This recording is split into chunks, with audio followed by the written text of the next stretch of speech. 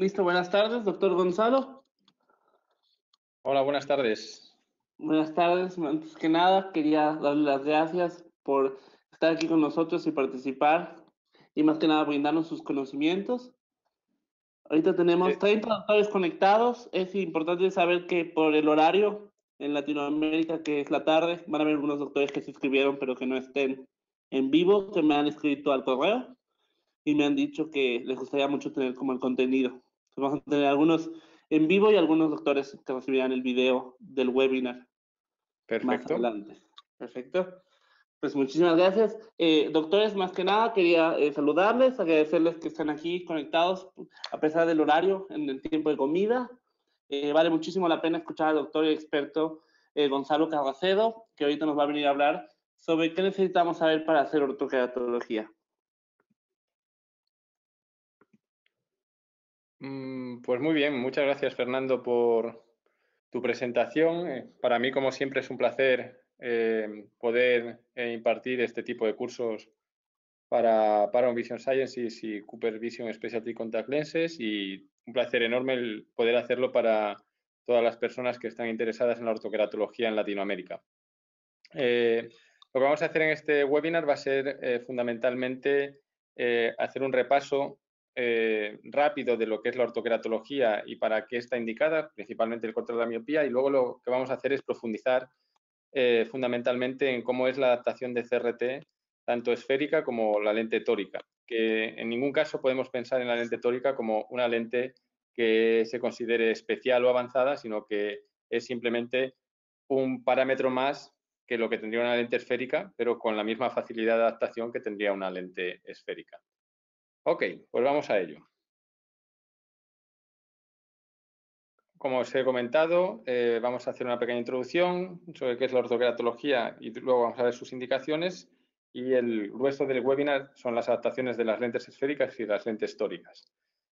Eh, la definición de ortoqueratología yo imagino que todos la tenéis más o menos clara porque seguro que habéis asistido a algunos webinars nuestros o habéis asistido en los últimos congresos, en los últimos dos o tres años, cuatro años que ha habido en Latinoamérica en los que siempre que se ha hablado de miopía se ha hablado de ortoqueratología y se ha podido hablar de su definición, pero como breve recordatorio es la ortoqueratología es la adaptación de lentes de contacto por la noche de geometría inversa que lo que hacen es moldear la córnea para eh, reducir la miopía que tenga el paciente y de esa manera el paciente por el día sin las lentes de contacto ni las gafas tenga una buena visión. Y además eso hace que eh, ese paciente, si tiene una progresión de crecimiento de esa miopía, pues podamos tener, eh, podamos tener un control de esa progresión. La ortoqueratología que conocemos actualmente es la ortoqueratología conocida como nocturna, que es con unos materiales de alto contenido en agua, alto de, alta permeabilidad, como son el HDS 100, de Paragon eh, que permite su uso por la noche y tiene una geometría inversa que permite un moldeo en la zona central y un aumento del, espesor del epitelio corneal en la zona periférica, coincidiendo con la zona de geometría inversa de la lente. Vamos a verlo un poquito más en las siguientes diapositivas. ¿Y qué ventajas tienen estas lentes con respecto a las lentes anteriores de ortogratología, como eran las diurnas? Pues fundamentalmente que son lentes mucho más estables, que mantienen un centrado muchísimo mejor y por tanto van a permitir una buena agudeza visual y una corrección de la miopía y del astigmatismo mucho más eh, efectiva. Son muchísimo más rápidas, en muchos de los casos solamente con la primera lente calculada desde la caja de pruebas eh, eh, se va a conseguir el, efecto que queremos y además vamos a poder reducir miopías hasta 6 dioptrías con relativa facilidad siempre y cuando el paciente sea el indicado. Todo ello va a conllevar a que tengamos una buena hueza visual durante todo el día sin la necesidad de gafas ni de eh, lentes de contacto. Aquí podéis ver una diapositiva en la que se ve un corte histológico de lo que ocurriría en la córnea con la ortoqueratología y lo que estamos haciendo es un moldeo en la zona central, aplanando el epitelio central y engrosando el epitelio en la zona periférica, medio periférica que coincide con la zona en la que la lente deja un espacio entre la córnea y la propia lente. Y en esa zona lo que vamos a tener es un aumento de ese epitelio corneal, dando a, esa córnea una forma lente, como si fuera una lente oftálmica eh, negativa, que es más fina en el centro y más gruesa en la periferia. Y de esa manera es como hacemos ese efecto de corrección de la miopía con la ortoqueratología. Realmente, y esto es uno de los conceptos que siempre en todos los, en estos webinars eh, intento dejar como una de las ideas que os tenéis que llevar para casa, es que ese, esa presión que ejercemos en la zona central y esa eh, presión en sentido contrario, presión negativa que ejercemos en la medioperiferia para que se engruese ese epitelio corneal, se produce siempre de una manera hidráulica. Es decir, tenemos que dejar una capa de lágrima entre la lente y la córnea para que esa lágrima sea la que haga el efecto de moldeo en la zona central de aplanación y el efecto de moldeo de aumento del espesor del epitelio en la zona medio, periférica, siempre por cambios de presiones hidráulicos. Nunca es una presión física, nunca es una lente de contacto apoyada en la zona central de la córnea presionando directamente el epitelio, porque si fuera así, lo que tendríamos serían tinciones y por tanto no tendríamos una buena adaptación de ortoqueratología. ¿Para quién está indicada? ¿Qué pacientes son los más indicados? Evidentemente, las tres indicaciones principales que tiene la ortogratología, y no por este orden que están puestas en la diapositiva, son la mejora de la agudeza visual durante el día sin necesidad de la corrección, que es, digamos, la indicación clásica de la ortogratología, la sequedad, el tratamiento de la sequedad ocular por el uso de las lentes de contacto, aquellos pacientes que utilizan lente de contacto blanda que mm, padecen sequedad ocular al final del día por el uso de esa misma lente, en muchos de los casos la ortogratología va a conseguir minimizar o eliminar esa sequedad por el uso de la lente de contacto y la indicación actual principal en la que probablemente el 80% de los pacientes que adaptáis sean eh, por esta razón es el control de la miopía. Y esto estamos hablando fundamentalmente de control de la miopía en niños, que es donde ese control de la, de crecimiento axial del ojo lo podemos intentar minimizar, como vamos a ver más adelante, con lentes de ortoqueratología o con otro tipo de tratamientos. Pero es fundamental que seleccionemos el paciente de manera adecuada para que eh, la lente de contacto, en este caso de ortoqueratología, funcione. Si nosotros seleccionamos el paciente de manera inadecuada, no vamos a poder adaptar la lente de contacto y que consigamos el objetivo que pretendemos, porque no es la lente de contacto para el paciente ideal. Entonces, lo que tenemos que pensar eh, al inicio de hacer una adaptación de ortogratología es si ese paciente es un paciente indicado para ortogratología o no. ¿De acuerdo? Y vamos a dar una serie de, pistas, de, ideas de cuáles son los pacientes que son los más indicados en función de una serie de parámetros. El primero de ellos es la miopía que tenga el paciente. Evidentemente, mm, miopes eh, hasta 6 dioptrías son pacientes que son fácilmente adaptables a la ortogratología, siendo mm, el rango donde más efectiva es la ortogratología entre una dioptría y las cuatro dioptrías, pero en el caso de CRT hasta seis dioptrías la adaptación es posible en la mayoría de los pacientes, aunque también tenemos lentes de contacto que pueden servir para miopías más elevadas, pero que no está aprobado por la FDA.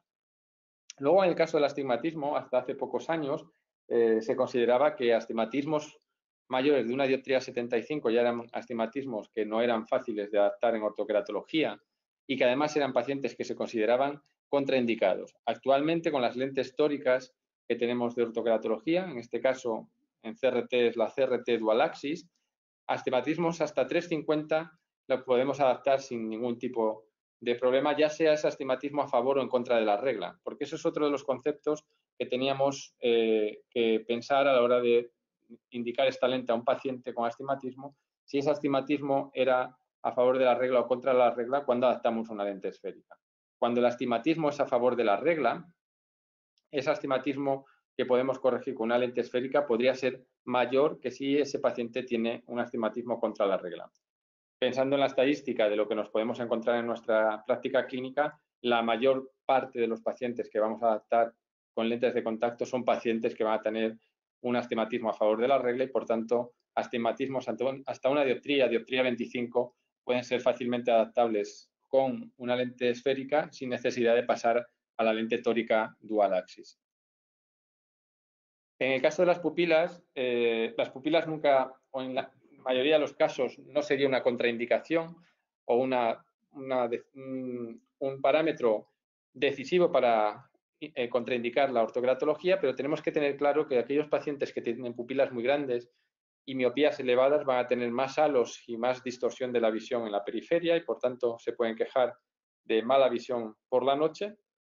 Y aquellos pacientes que tienen pupilas pequeñas podrían ser pacientes, eh, sobre todo en niños, eh, podrían ser pacientes en los que podríamos pensar que el control de la miopía no iba a ser tan efectivo como en los pacientes con las pupilas grandes. Pero esto es una cuestión que tenemos que tener eh, un poco en entredicho porque es una hipótesis que todavía no está demostrada el hecho de que el tamaño pupilar pueda ser un parámetro a considerar para aumentar o disminuir la eficacia de las lentes de contacto para controlar la miopía. Otros parámetros que tenemos que tener en consideración es la biomecánica corneal. En este caso, aquellos pacientes que presentan una estéresis, que es la capacidad de ese tejido para eh, mostrar su elasticidad, para volver a su posición, eh, que muestra una estéresis eh, muy baja, es decir, que son mm, tejidos, es una córnea muy maleable, pues son pacientes que van a responder muy rápidamente al moldeo con la lente de contacto de ortogratología, pero a su vez van a tener regresiones de esa reducción de la miopía mucho más rápidas y por tanto el efecto de la ortogratología va a ser más pequeño. Y al contrario, aquellos pacientes que tienen una estéresis más elevada, es decir, córneas más duras, van a ser pacientes que probablemente tarden más tiempo en conseguir ese moldeo corneal, pero también van a tener una regresión más corta. Y eso es un parámetro que no nos tiene que indicar si ese paciente es indicado o contraindicado, pero sí que nos puede ayudar a entender cómo está siendo el proceso de la adaptación. Una manera que tenéis para saber si un paciente tiene una estéresis elevada o muy elevada o muy baja es el uso del tonómetro de aire, en el cual eh, tonometrías elevadas de 18, 19, 20, 22, que a veces se podrían confundir con un riesgo de glaucoma, pero que realmente eh, luego cuando se hace una tonometría de Goldman, esos pacientes no tienen, son normotensos. Esos pacientes son pacientes con histéresis altas y por tanto es muy probable que reaccionen más lentamente al moldeo de la ortogratología. En cambio, aquellos pacientes con eh, eh, presiones intraoculares medidas con el tonómetro de aire por debajo de 11, son pacientes con probablemente córneas muy maleables en los cuales, o debido a que esas córneas son muy finas o que son maleables por, un queratocono o sencillamente porque es la estéresis que tiene, pero es una córnea normal, probablemente esas córneas van a reaccionar al moldeo muy rápido, pero también van a tener una regresión muy rápida del tratamiento. Otro, otro aspecto que tenemos que tener en cuenta con respecto a la biomecánica corneal es los, la queratometría que tenga ese paciente. En este caso volvemos a lo mismo, no es una contraindicación, es decir, no porque tengamos un paciente de más de 48 dioptrías tenemos que pensar que a ese paciente no le podemos hacer ortocratología o si tiene menos de 40, pero evidentemente cuando tenemos pacientes de más de 48 lo primero que tenemos que descartar es que hay una, una ectasia, un queratocono eh, en esa córnea, que entonces sí que sería un paciente contraindicado. Y en el caso de pacientes que tienen córneas por debajo de 40 dioptrías y que eh, no sean eh, eh, pacientes por cirugía refractiva, probablemente son córneas tan planas que el tratamiento va a ser más complicado de llevar a, cabo que si son pacientes con córneas entre 40 y 45, 46 dioptrías. Pero vuelvo a repetir, un paciente de 40 dioptrías con dos dioptrías de miopía o tres dioptrías de miopía no es un paciente contraindicado, sino que es un paciente difícil de adaptar. También tenemos que tener en cuenta la excentricidad de esa córnea. Eh, por ejemplo, CRT, como vamos a ver más adelante, está calculado su levantamiento de borde, eh, que es la parte periférica de la lente, que es donde se va a apoyar la lente de contacto sobre la córnea.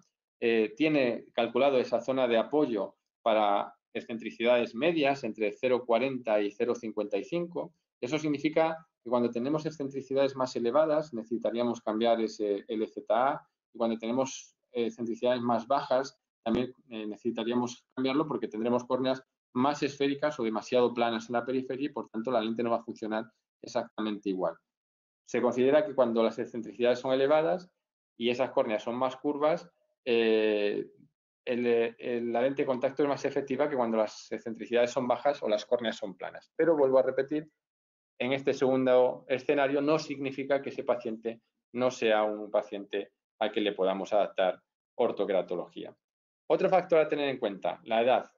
La edad no es una contraindicación para la ortogratología, pero tenemos que considerar la razón por la que estamos adaptando estas lentes a estos pacientes. Si la razón es control de la miopía, y este paciente tiene 25 o 30 años, tenemos que ser conscientes de que no es eh, probablemente una indicación correcta porque no tenemos evidencia científica de que el control de la miopía con ortoqueratología sea efectivo en adultos. Todo lo que tenemos publicado en la literatura científica nos habla sobre esa eficacia en, niños. En cambio, si la indicación es eh, mejorar la sequedad ocular después por el uso de la lente de contacto blanda o simplemente el reducir la miopía y mejorar la agudeza visual durante el día sin corrección, cualquiera de las edades sería la adecuada. Lo que tenemos que tener en cuenta es que en los niños necesitamos que sean niños responsables en el uso de la lente y en los adultos tenemos que considerar el tamaño pupilar para ver cuáles pueden ser los efectos adversos del uso de la ortoqueratología, pacientes mayores que tienen pupilas grandes con miopías entre 4 y 6 dioptrías y que además eh, hagan conducción nocturna, pues es un paciente que probablemente tenga unos efectos adversos con la ortoqueratología que hagan que no sea el paciente más indicado. Y luego las propiedades biomecánicas. Como os he comentado antes, córneas con una rigidez mayor van a tener un moldeo más lento, pero también van a tener una regresión más lenta y la córnea, igual que pasa con el cristalino, con la edad va aumentando su histéresis, se va endureciendo y por tanto tenemos que tener en cuenta estos factores a la hora de hacer la adaptación. La lágrima. Pacientes de ojo seco patológico que están con tratamiento eh, con antiinflamatorios, suero autólogo, que tienen tinciones corneales, es decir, o que está asociado a cualquier otra patología sistémica, son pacientes que no son indicados para ortoqueratología, porque van a sufrir adherencias de la lente en la superficie que van a aumentar esas tinciones y por tanto no es lo más adecuado. Pero aquellos pacientes que tienen una sequedad ocular por el uso de la lente de contacto, una sequedad ocular ambiental, eh, en la que no podemos hablar más que de un síntoma, no de una patología como tal, la ortoqueratología es eh, exactamente igual de indicada que cualquier otra lente de contacto. Es más, en aquellos pacientes que utilizan lente blanda, probablemente mucho más indicada. ¿De acuerdo? Entonces, hablamos de dos condiciones diferentes cuando hablamos de ojo seco como patología, hablamos de ojo seco como síntoma. El caso de ojo seco como patología no está indicada. El queratocono. En el caso del queratocono no está indicado el uso de la ortoqueratología porque estamos ante una patología de la superficie corneal y eso significa que este tipo de lente de contacto que va a provocar un moldeo sobre una lente que se moldea con mucha facilidad, eh, no tiene mucho sentido porque lo que podemos llegar a provocar es que esa córnea se estabilice más todavía y tengamos mayores efectos adversos que positivos. Por tanto, paciente diagnosticado de queratocono, tenemos otras opciones de tratamiento como pueden ser las lentes esclerales, por ejemplo, lentes de contacto corneales específicas de queratocono, lentes híbridas o lentes blandas de alto espesor, cualquier otra solución en la contactología que son específicas de este tipo de paciente y por tanto no tenemos necesidad del uso de la ortoqueratología para tratar a estos pacientes. Otra consideración a la hora de indicar la ortoqueratología es qué actividad eh, puede ser, eh, ser, beneficiada del uso de la ortoqueratología en ese paciente. Pues, pacientes que hacen deportes acuáticos, pacientes que hacen deportes de contacto o que son muy activos, ya no sean deportes eh, acuáticos o de contacto, pero otro tipo de deportes que requieren mucha actividad. Eh, pacientes que pertenecen a, profesiones como pueden ser policías, bomberos, eh, pilotos que, que, requieren pasar unas oposiciones para poder conseguir esos puestos de trabajo, son pacientes indicados para la ortocratología. Y luego fundamental, y es algo a que lo que nos tenemos que acostumbrar todos y que eh, va en beneficio del propio paciente, porque así el paciente sabe exactamente qué es lo que estamos haciendo cuando adaptamos ortoqueratología y con qué motivo lo estamos haciendo. Y por otra parte, nosotros nos protegemos ante cualquier evento adverso que no podemos controlar y que puede ser eh, paralelo al uso de la ortoqueratología, pero que no depende completamente de, nosotros y por tanto depende también de lo que haga el paciente, eh, el uso de un consentimiento informado es fundamental e imprescindible.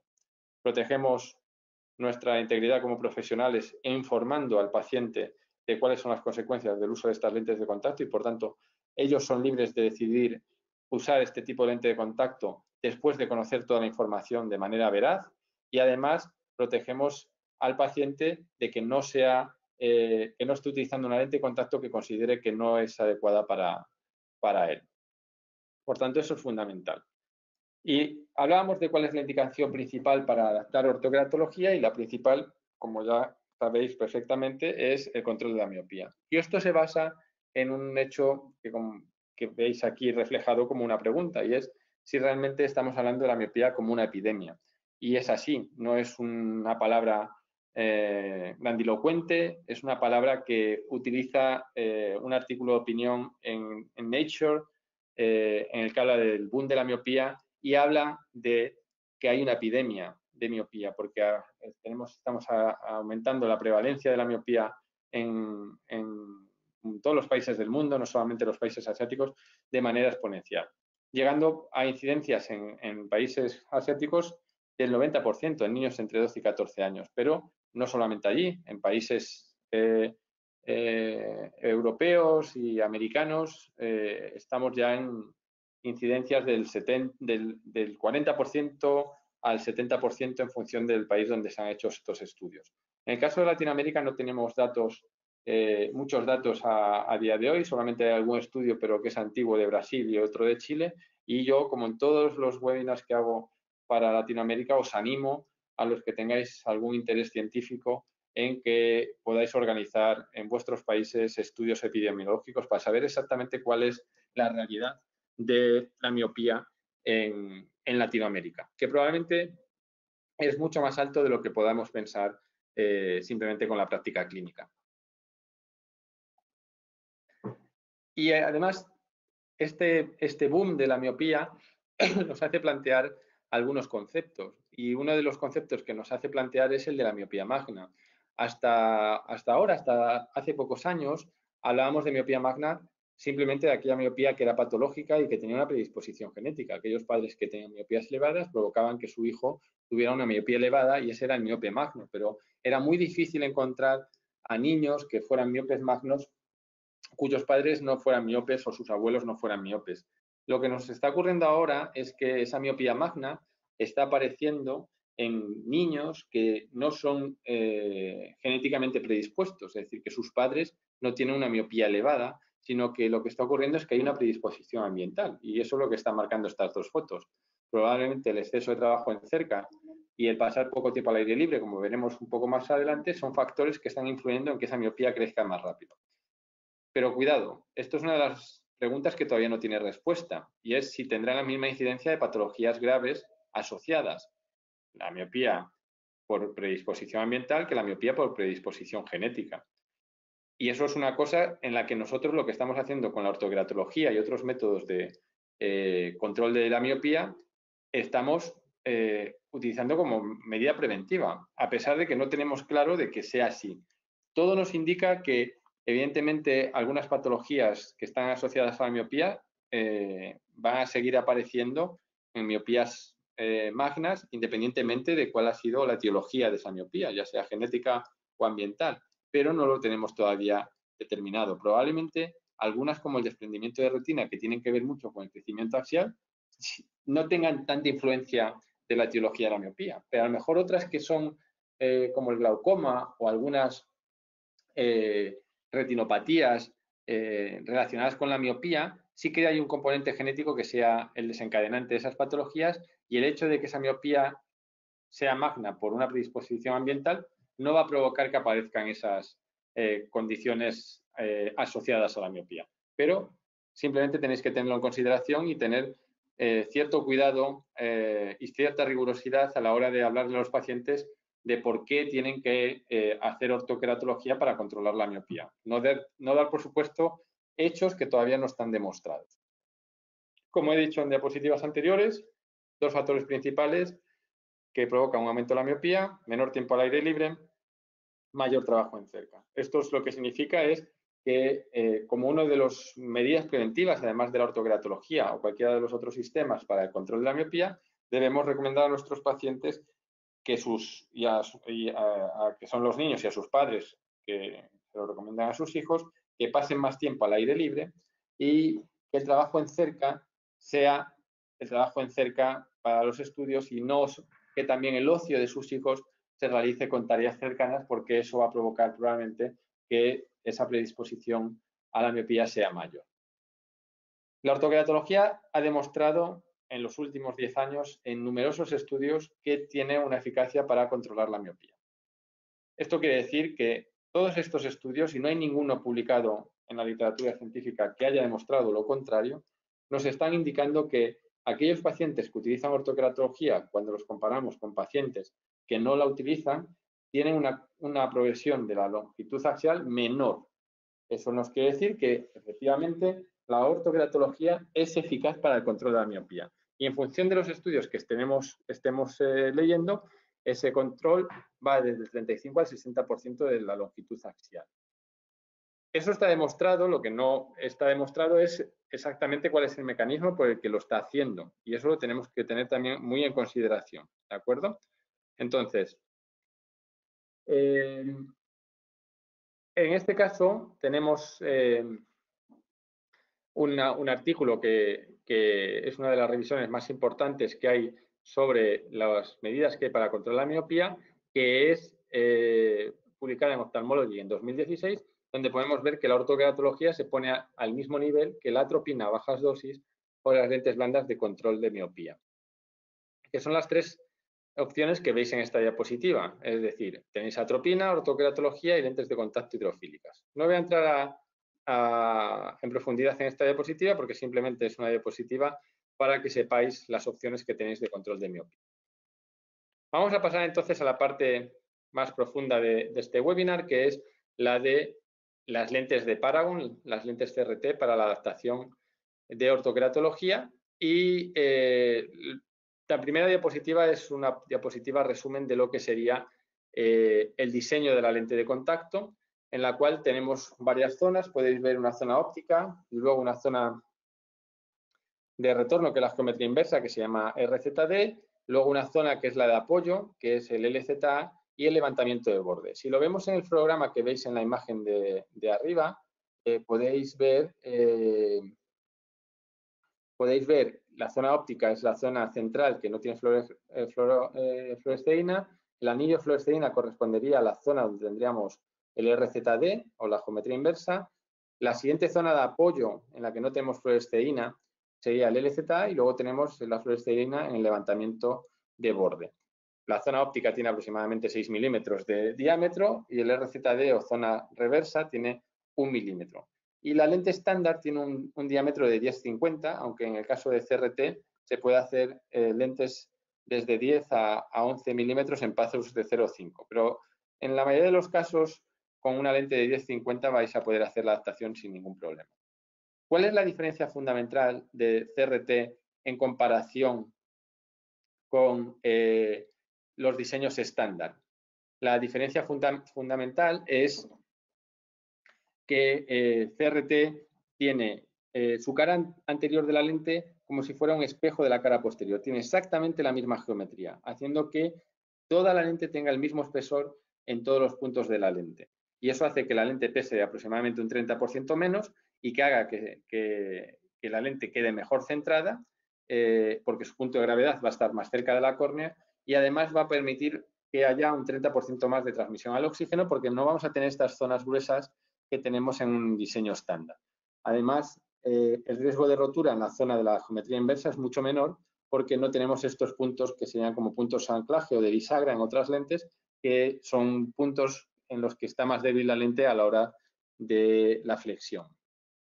Otra característica que tiene Paragon CRT es que tiene eh, marcado en láser en el borde de la lente los parámetros de esa lente, de tal manera que tanto en la caja de pruebas como la lente que se vaya a llevar el paciente podemos comprobar con la lámpara de hendidura si es la lente correcta que queremos adaptar en ese ojo o si el paciente se ha cambiado la lente de ojo y está llevando la lente del ojo derecho en el ojo izquierdo y viceversa siendo las dos lentes de parámetros diferentes. Y estos, estos parámetros que vemos en la, en la lente son seis números, cada dos números corresponden a una de las curvas. Los dos primeros números corresponden al radio base de la, de, la, zona óptica y está expresando los milímetros de ese radio base. Por ejemplo, en este, aquí en esta imagen sería 790 milímetros de radio base de la zona óptica. Los dos siguientes números nos están indicando la altura sagital que tiene el RZD o la curva reversa, que está expresada en micras. Y como son dos números, aunque eh, la curva tenga 525, pues eh, normaliza a 53 y por eso aparece este 53. Si fuera, por ejemplo, 500 micras, aparecería 50 o si fuera 550, aparecería 55. Y los dos números siguientes corresponden a la zona de apoyo o LZA en CRT, que es el ángulo que forma la lente con respecto al horizontal y lo vamos a ver en las siguientes diapositivas. Y ese, eh, ese número corresponde a ese ángulo. En este caso, ese ángulo sería 33. Si fuera una lente dual axis, como veremos después, en esta zona de aquí abajo aparecerían otros cuatro números que corresponderían al RZD y al LZA del otro meridiano, de los dos meridianos principales, porque tendríamos un cambio de RZD y LZA entre meridianos para hacer la toricidad. Y la zona óptica seguiría siendo esférica y con una sola zona óptica. Aquí tenéis los tres parámetros, curva base, luego tenéis el RZD, que es una curva sigmoide, como vamos a ver un poquito más adelante, y luego el LZA, que es la zona de apoyo y que, como es una recta, como vamos a ver más adelante, se parametriza con el ángulo que forma con la horizontal y no con un radio, porque como bien sabéis, una recta, su radio sería infinito y no lo podríamos parametrizar.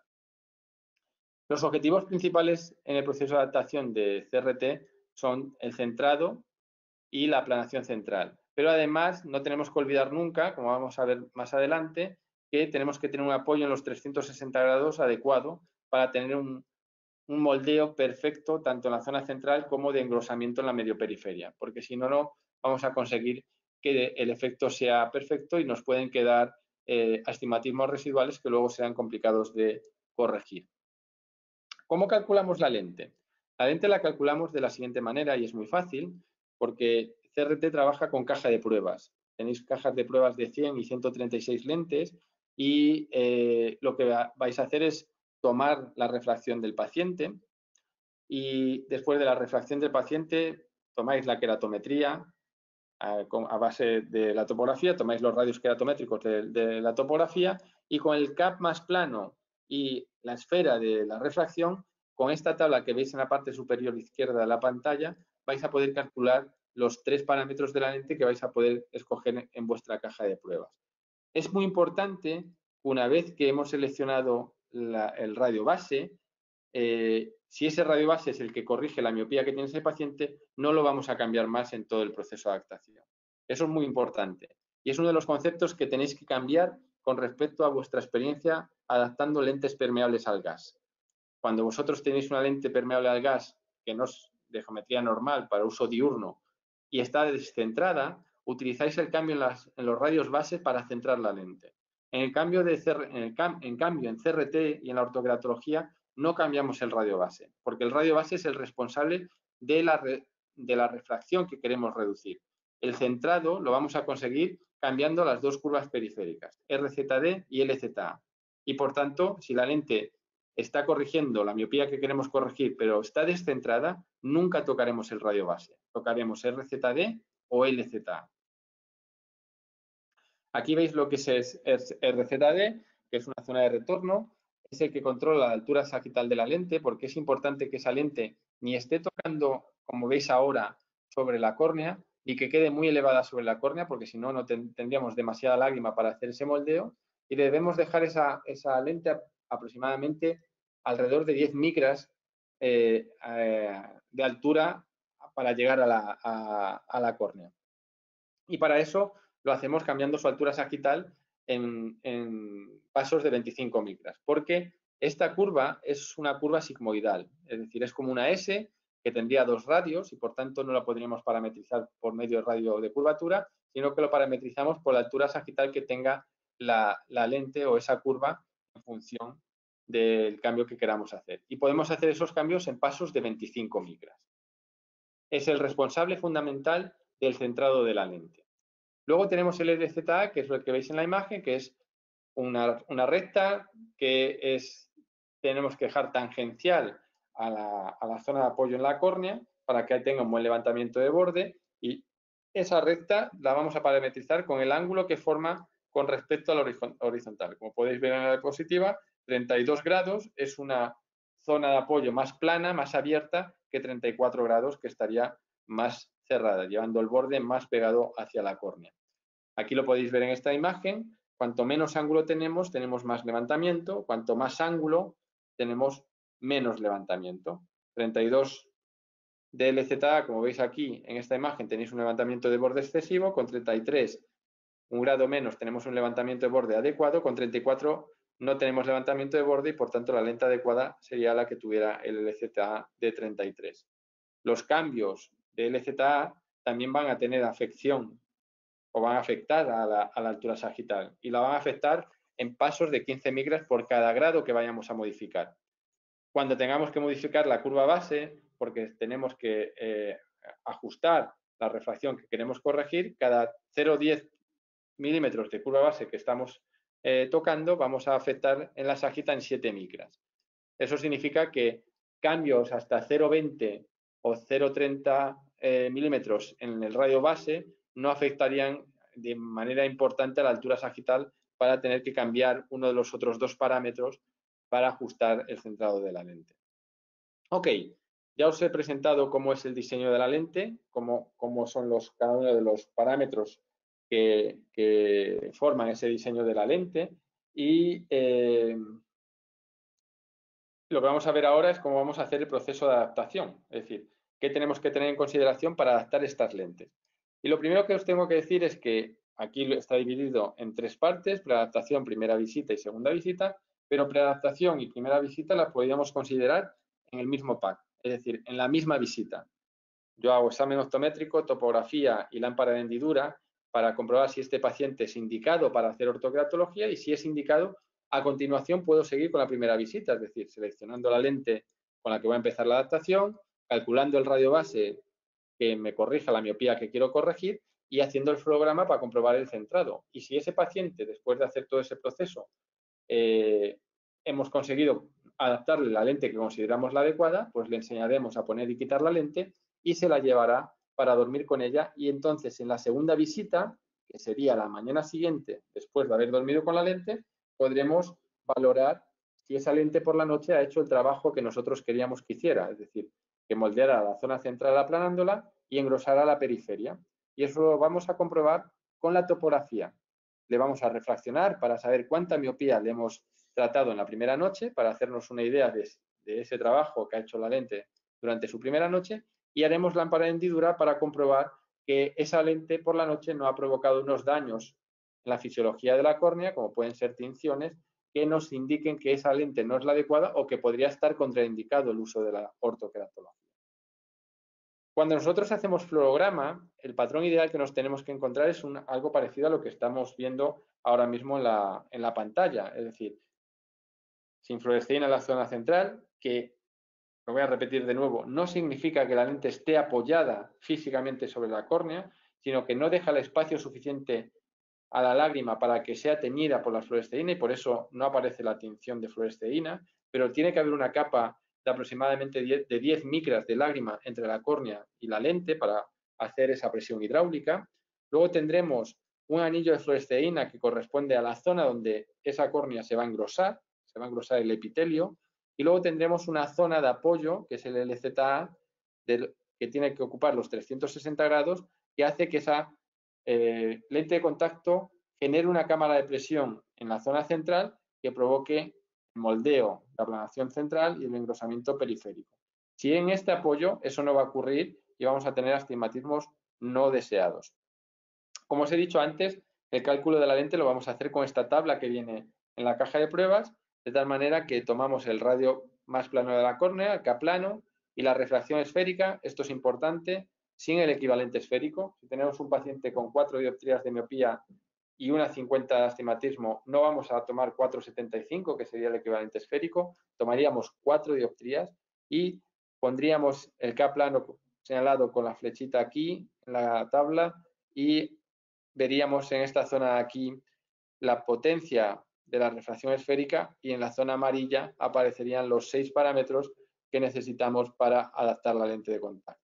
El radio base, el RZD y el LZA tomaríamos esa lente de la caja de pruebas, la pondríamos en el ojo del paciente, valoraríamos la refracción lo primero de todo. Si esa lente tiene el radio base adecuado para la miopía que tiene ese paciente, con la lente de contacto tendrá una hueza visual eh, igual o superior a la que tiene con las gafas y, y eh, sin necesidad de refracción. y por tanto tenemos el radio base adecuado y ya no lo tenemos que tocar, en el caso que nos hagamos una sobre refracción y para alcanzar esa agudeza visual igual o superior a la que tienen las gafas necesitamos poner una dioptría de miopía, significa que esa lente no le va a quitar toda la miopía, sino solamente eh, le va a dejar un residual de una dioptría y necesitaríamos poner una lente una dioptría más plana, es decir, un radio base 0,20 más plano. Retiraríamos esa lente que tenemos en el ojo, la dejamos en la caja de pruebas, tomamos de la caja de pruebas los mismos parámetros periféricos, pero con un radio base 0,20 más plano y la pondríamos en el ojo. Y ahora tendríamos que tener una sobre refracción plana, lo que indica que ya no vamos a tocar el radio base en los siguientes procesos de adaptación, porque si la lente no está centrada, como hemos comentado antes, lo que tocaremos será el RZD o el LZA. Lo que nos tenemos que encontrar es este tipo de, de fluorograma después de haber seleccionado el radio base. Aplanación central, reservorio lagrimal, apoyo periférico y un buen levantamiento de borde. Esos son los cuatro, las cuatro zonas que tenemos que valorar cuando hacemos un fluorograma en ortoqueratología. Pero claro, este fluorograma que yo os he puesto aquí es el fluorograma ideal. Lente centrada, con todos estos cuatro parámetros o zonas que tenemos que evaluar, perfecto. Pero nos podemos encontrar todo este tipo de fluorogramas, es decir, lentes que están descentradas hacia arriba, lentes que no tienen una zona óptica de aplanación, lentes que tienen mucho levantamiento o lentes que están descentradas hacia arriba y lateral, o lentes que están descentradas hacia abajo, lentes con zonas ópticas muy grandes y sin apenas zona de apoyo eh, medio periférico. Todos estos eh, fluorogramas los vamos a intentar resolver haciendo cambios en la periferia de la lente, o en la recetada, RZD o en el LZA. Esta diapositiva nos está explicando cuáles son los eh, hallazgos que podemos encontrar cuando hacemos un fluorograma con ortocratología. Tenemos las cuatro zonas, tratamiento, reserva, zona de apoyo y levantamiento de borde. Recordar, zona de reserva RZD, zona de apoyo LZA. Positivo significa que está adecuado, negativo significa que no es el adecuado y que tenemos que hacer algún cambio. Hay que ver por qué no es positivo en el caso de la zona de tratamiento puede ser pequeño por una zona óptica pequeña o una zona óptica descentrada. En el caso de la zona reserva, como veis, hay tres razones, es decir, hay varias razones por las que en cada una de las zonas no encontramos un fluorograma perfecto. Lo que tenemos que hacer es valorar esas zonas y pensar cuáles son los cambios que tenemos que hacer. Por ejemplo, en la zona de tratamiento, si tenemos una zona pequeña, puede significar que tenemos una altura sagital muy alta y entonces tenemos que bajar el RZD o si la lente está descentrada, en función hacia dónde esté descentrada, tendremos que aumentar o disminuir ese RZD o aumentar o disminuir el LZA. vamos a empezar a valorar esos parámetros en detalle porque eso significaría un curso mucho más extenso, de más horas, pero que sepáis que estos son los parámetros con los que tenéis que jugar. Fijaros en esta eh, diapositiva en la que tenemos cómo varía el fluorograma desde la lente que veis en la zona central, que es la seleccionada por la caja de pruebas, cuando hacemos un cambio de uno de los dos parámetros o de los dos, que son las esquinas, ¿de acuerdo? O de los dos parámetros eh, que controlan el centrado de la lente, que son el RZD y el LZA. Fijaros como una lente que tiene un RZD de 525 y un LZA de 33 hace que tengamos eh, por ejemplo, si aumentamos el, RZD y aumentamos el LZA, como aumentamos la altura de, ságita en exceso y tenemos como la zona óptica de tratamiento se hace mucho más pequeña. O en el caso contrario, como la zona óptica se hace mucho más pequeña porque tenemos un apoyo enorme y tenemos una zona de reservorio lagrimal muy grande porque tenemos una, una lente excesivamente plana con poca altura sagital para esa córnea. Esta diapositiva lo que pretende es que veáis cómo el cambio de un solo parámetro va a provocar que el fluorograma sea diferente a la anterior. ¿De acuerdo? Vamos a ver entonces ahora cómo se adaptarían las lentes tóricas.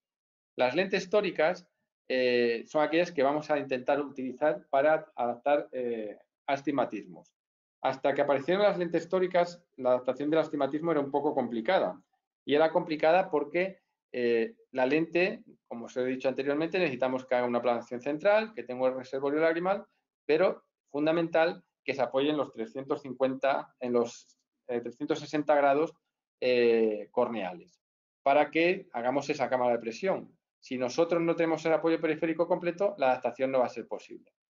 Y no vamos a tener esa eh, cámara de presión en la que la fuerza positiva central se convierte en fuerza negativa periférica. Necesitamos que esa presión sea homogénea.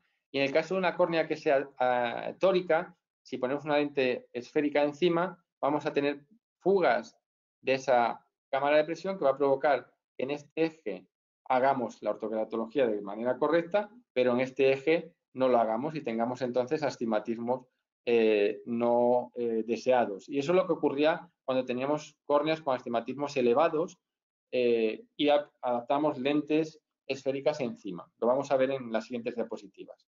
En este caso, Paragon CRT Dual Axis es una lente que varía el RZD o el LZA en función del meridiano en el que lo estemos midiendo. En los dos meridianos principales vamos a tener diferente RZD para hacer que la lente se quede bien apoyada sobre la córnea. Podéis ver aquí en el mapa de elevación cómo la es la clave para la adaptación de las lentes tóricas en ortoqueratología. Es fundamental que eh, midamos con el mapa de elevación este, esta toricidad corneal para saber si necesitamos adaptar una lente tórica o no. Fijaros, esto sería un ejemplo de córnea esférica. Los dos meridianos tienen la misma elevación. Si yo adapto una lente esférica que veis aquí girar sobre una córnea, una córnea esférica, lo que vamos a tener es lo siguiente. La lente se va a apoyar completamente en toda la periferia, no vamos a tener problemas de pérdidas de presión en esa cámara que hemos visto anteriormente. Pero fijaros en una córnea que sea tórica. Eh, por ejemplo, el ejemplo que, eh, que, veis en la pantalla, que puede ser una córnea aproximadamente de 3 dioptrías. Si en esa córnea que veis como el meridiano plano tiene una altura sagital diferente, completamente diferente al meridiano curvo, y lo podéis ver aquí girando, y veis como el meridiano curvo tiene una ságita más pequeña al meridiano plano, que tiene mucha más ságita, hay una diferencia de ságita entre los dos meridianos. Si yo en esa córnea le pongo una lente esférica, lo que podéis ver, vamos a parar el vídeo aquí, veis como la lente en el meridiano plano está completamente apoyada, pero en cambio en el meridiano curvo lo vamos a parar aquí. Vamos a ver si lo podemos parar. Lo vamos a parar aquí. Podéis ver cómo pasa fluoresceína, la lente está completamente en el aire, tendría un levantamiento de borde excesivo. Y eso lo podéis ver en esta imagen en parado.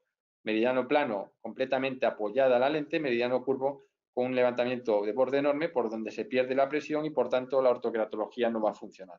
Fijaros, meridiano plano, línea roja, meridiano curvo, línea azul. Si vemos el florograma, podemos ver cómo el meridiano plano sería este, porque aquí la lente está perfectamente apoyada, pero en cambio en el curvo no tenemos la lente apoyada y se escapa la, la y por tanto se escapa la presión hidráulica que estamos ejerciendo en la zona central y el tratamiento de engrosamiento en estas zonas de aquí no se va a producir y por tanto no vamos a corregir ese astigmatismo. Además de que esta lente se va a descentrar y va a tener un movimiento que no deseamos en la ortoqueratología.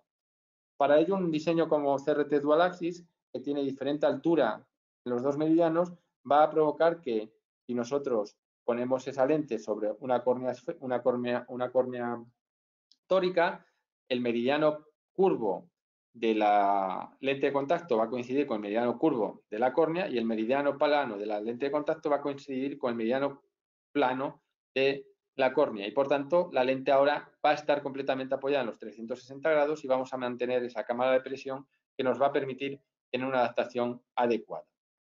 ¿Cómo calculamos esa lente? Pues tenemos que calcular el segundo meridiano. El primer meridiano nos lo va a dar la caja de pruebas en RZD. Tenemos que calcular ese segundo meridiano, el del meridiano curvo, el que está más profundo, y lo vamos a calcular de una manera sencilla y es viendo cuál es la diferencia de sagita entre un meridiano y el otro. Eso en, CRT lo vamos a calcular con el mapa de elevación. Fijaros, en esta córnea, por ejemplo, de un astigmatismo de 0,50 dioptrías, un meridiano a 4 milímetros tiene 6 micras de elevación con respecto al centro, en el meridiano curvo tiene 14, la diferencia son 19 micras. Evidentemente, un astigmatismo de 18, de 0,50 dioptrías, 19 micras, una lente esférica lo vamos a poder adaptar perfectamente. En cambio, ya cuando tenemos astigmatismos más altos, como una dioptría y media, la diferencia ya se va a 40 micras. Entonces ahí ya vamos a tener problemas de adaptación y necesitamos una lente que tenga al menos 40 micras de diferencia entre un meridiano y otro en el RZD. Y podemos pedir un RZD de 525 en un meridiano y 575 en el otro. O eh, un estimativo de 250 tendremos 70 micras. Pues ahora la diferencia será de 75 micras entre un meridiano y otro. Simplemente tenemos que calcular la diferencia de sagitta entre un meridiano y otro. En el caso de CRT, dual axis lo podemos hacer de dos maneras.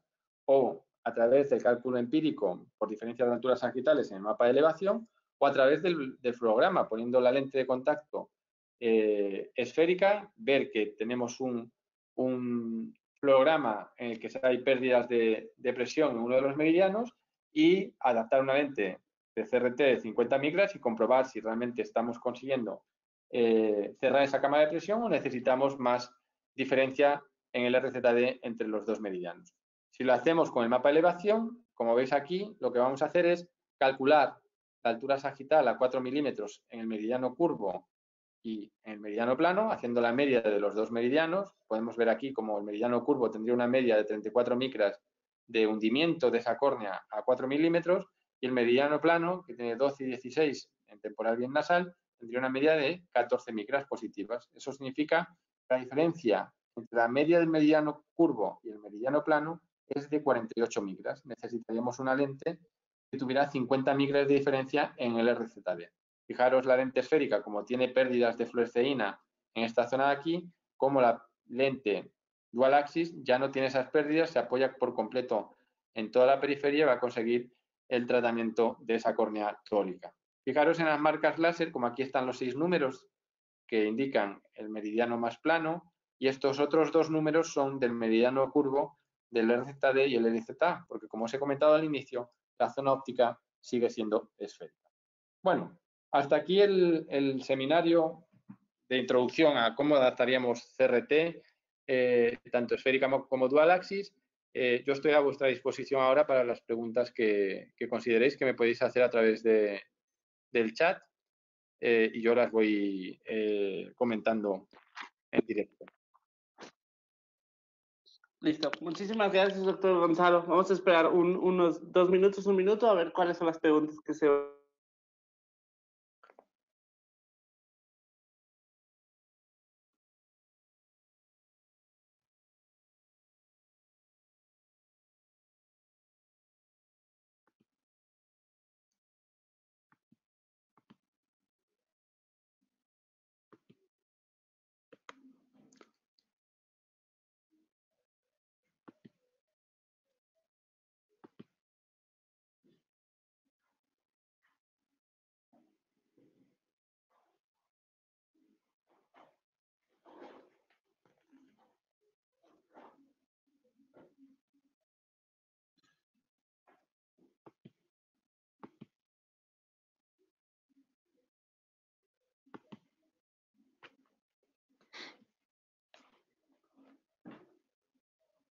De todas maneras, también tenéis mi correo electrónico en la pantalla ahora mismo. Cualquier pregunta que queráis hacerme por correo electrónico también estaré encantado de contestarla. Lo que pasa es que no sé si, podéis hacerlas porque yo no veo en el panel si podéis escribir. Porque yo creo que solamente estoy viendo el panel si de los panelistas, de, los, de los organizadores. No sé si podéis escribir o no.